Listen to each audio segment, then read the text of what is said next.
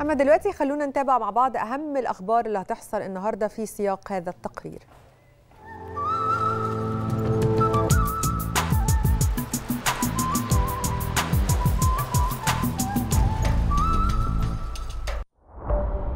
بالنسبة للأخبار اللي هتحصل النهاردة فبمناسبة عيد تحرير سيناء النهاردة أجازة رسمية مدفوعة الأجر للعاملين بالقطاع الخاص المخاطبين بأحكام قانون العمل رقم 12 لسنة 2003 في ضوء نص قرار رئيس مجلس الوزراء رقم 49 لسنة 2024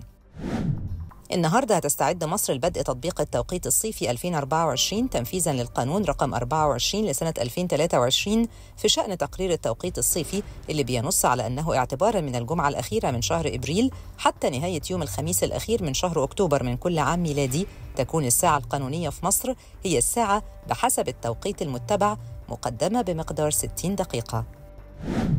النهارده هتطير بعثة الفريق الأول لكرة القدم بنادي الزمالك لغانا لمواجهة دريمز الغاني في إياب نصف نهائي الكونفدرالية الإفريقية اللي بتجمع الفريقين الأحد المقبل الموافق 28 بملعب بابايارا في مدينة كوماسي الغانية. ومن المنتظر أن يخوض الفريق تدريبه الأول في غانا غدا الجمعة على أن يخوض التدريب الأساسي على ملعب المباراة السبت اللي هيشهد تحديد الخطة اللي هيعتمد عليها الجهاز الفني للزمالك بقيادة البرتغالي جوزيه جوميز في المواجهة الهامة.